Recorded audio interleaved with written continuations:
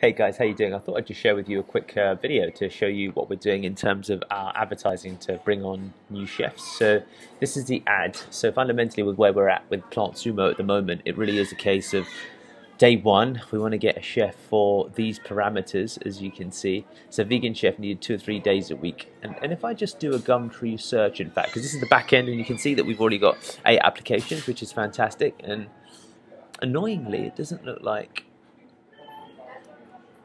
edit. Job can't be edited apparently. Um, you think that they'd let you edit it to be honest with you, but they don't for whatever reason. Because it's got my phone number, I wanted to remove it because people keep calling me, which is a good thing. But um, I'm happy to take the applications and do it that way. But what I want to do is show you also. This is recruiters.gumtree. If I go to Gumtree now and I search, because I want to just show you what the ad looks like, and you know, it's for five. For, here we go vegan chef needed two, three days a week based near. So this was the previous search I ran. And let's just see what comes up. Hopefully our actual, okay, let's do this. Sorry.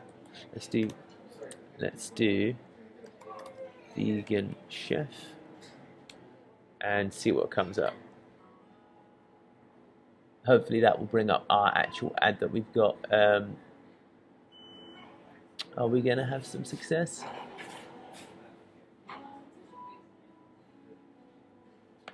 So if we go Fulham, then search again. Okay, that seems to have some better success. One one advert. So okay, here we go. Plant Sumo. So just wanted to show you this ad basically, so you get a sense of uh, kind of what we're doing. So it's got my phone number and name there. Um, yeah, as I said, I kind of wish I didn't put it up there now, but it's a, it's a good problem. So job level experience, part time, posted 21 hours again. We've already got eight applications. We'll probably end up getting maybe 15, 20, perhaps in total. So looking for a change chef to join. So, so, so you can, I'm not going to read this out for you, but I'll give you a second just to look at it. And uh, the way that I did this is quite interesting actually. So I searched vegan chef jobs, okay?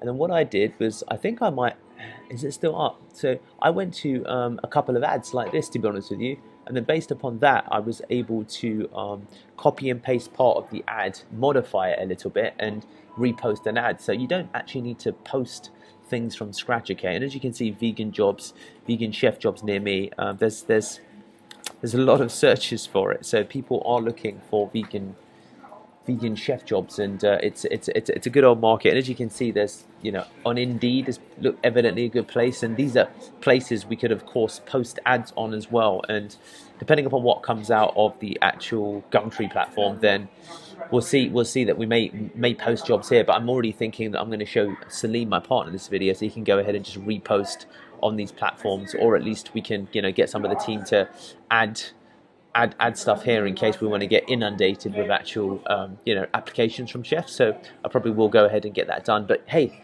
I thought I'd share this with you because it gives you a, a, handy insight into how we're actually um, you know bringing on or trying to interview our first chefs. And as I think,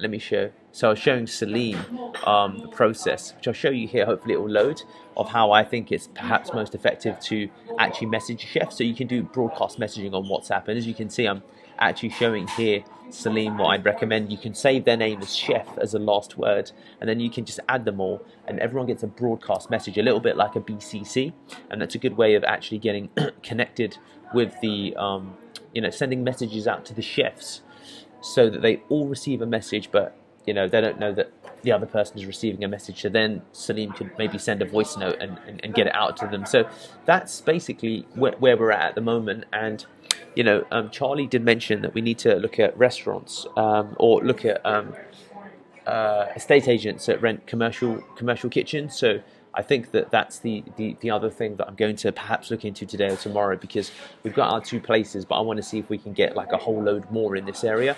So I'm going to have a look at um, commercial estate agents, Fulham. Let's have a look at that and see what that brings up.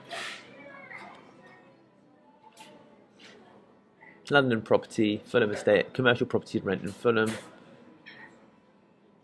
Fulham commercial properties to let. Okay, so there's some some some some some things here that maybe I'll allocate to the team to see what we can find here. Commercial properties to rent in Fulham.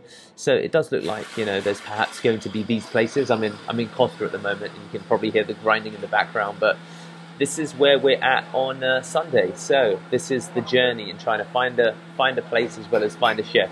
Thanks so much, guys.